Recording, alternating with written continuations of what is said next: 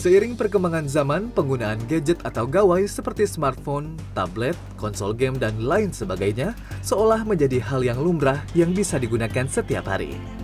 Bahkan penggunaan gawai juga semakin intensif saat pandemi COVID-19 melanda dunia. Mulai dari mencari informasi di internet, belajar daring, berinteraksi melalui aplikasi chat, hingga sebagai sarana hiburan. Meski banyak membantu aktivitas manusia, dampak negatif penggunaan gawai juga masih menjadi perdebatan. Khususnya ketika gawai menjadi alat yang digunakan oleh anak-anak usia dini hingga remaja. Widih, lagi pada main nih. Udah nggak aneh ya ngelihat anak-anak sekolah zaman sekarang nih sibuk sama HP-nya sendiri, entah itu main game, nonton video, dan bahkan anak-anak usia dini juga udah ada yang ketergantungan sama gadget. Padahal mereka lagi di RPetra yang banyak fasilitas bermainnya. Nah, ini masih jadi perdebatan nih di antara kalangan orang tua tentang sebenarnya penggunaan gadget itu adalah hal positif atau justru hal negatif. Tapi di balik itu semua, yang paling penting adalah gimana caranya bagi orang tua untuk bisa mengurangi dampak negatif dari penggunaan gadget oleh anak-anak, terutama mendidik mereka di era digitalisasi seperti sekarang. Yudi, pusreng nih.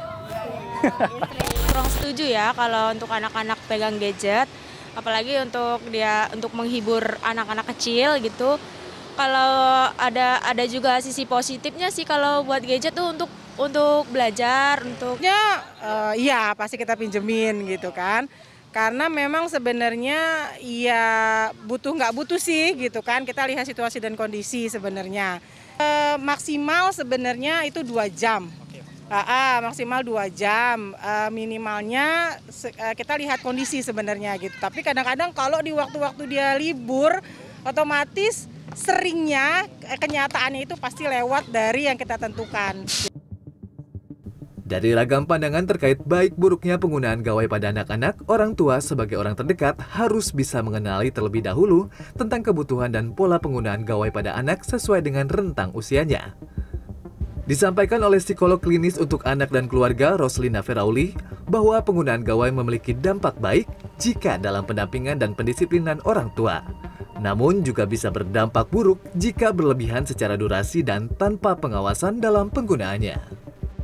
Ya mereka memang terlahir di digital era gitu. Anak-anak dengan gen alpha ini orang tuanya saja sudah orang tua milenial gitu kan. Sebenarnya tuh kalau sudah uh, bersentuhan dengan digital ya gadget digital teknologi bahkan dari usia prasekolah Mas Albi anak justru punya pemahaman dan wawasan pengetahuan yang lebih luas loh dibandingkan dengan teman-teman sebayanya. 8 jam per minggu saja lebih dari 8 jam per minggu saja dampaknya apa? dampaknya anak semakin agresif, anak semakin sukar berkonsentrasi karena juga berisiko untuk kemampuan prososial yang nggak berkembang, terisolir dari pergaulan sehari-hari. Ada banyak dampak negatif kalau ternyata penggunaannya berlebihan. Kalau enggak, masih bisa kita kelola. Anak justru memperoleh benefit atau keuntungan yang besar loh.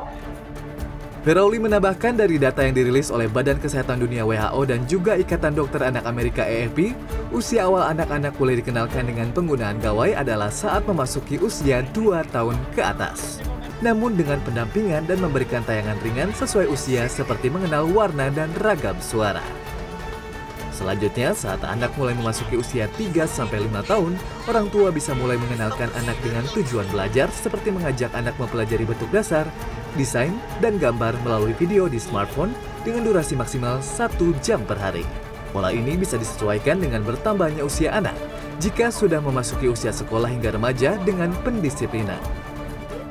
Kalau lima tahun pertama, ya hold me tight. Semua anak selalu pengen deket ortunya. Ini gampang.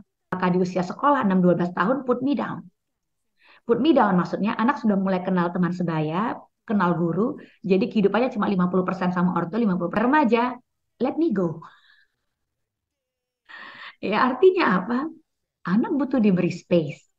Tapi mereka juga butuh rules dan aturan atau disiplin yang sebetulnya seharusnya berkembangnya di usia sekolah dasar kemarin. Pola kontrol seperti ini juga dinilai baik untuk menjaga kesehatan mental sekaligus fisik pada anak-anak. Dari segi fisik, dokter spesialis mata dari Mandaya Royal Hospital Puri, Dr. Naomi Patioran menyatakan bahwa anak-anak di bawah usia 2 tahun tidak dianjurkan untuk menatap layar gawai seperti smartphone karena ada radiasi yang berpotensi mengganggu kesehatan mata pada anak. Di bawah 2 tahun ya, se tidak dianjurkan untuk melihat gadget sebenarnya. Uh, karena dampaknya uh, pada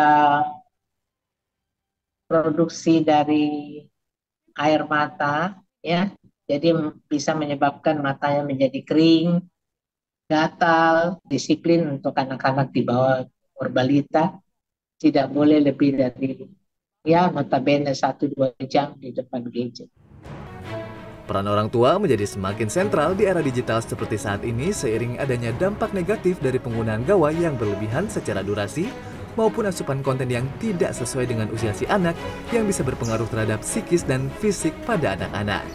Sejatinya, penggunaan gawai yang tepat justru bisa menjadi hal positif bagi anak dengan menelurkan kreativitas dan karya dalam bentuk digital. Albi Pratama, Para Maestro, Jakarta.